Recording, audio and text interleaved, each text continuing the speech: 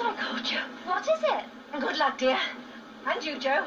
Thanks, Mrs. Thatcher. Here's some sandwiches for the train. It might not be hungry. Bye, Mum. Bye. Oh, I won't phone. It's too dear. Don't forget to write.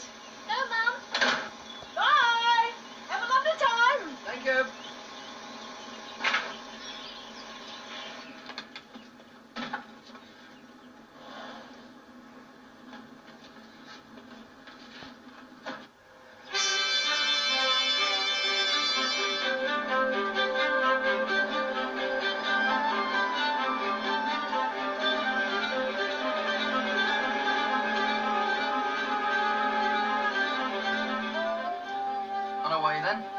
Mm. It's groovy of you to take me with you, Joe. Groovy.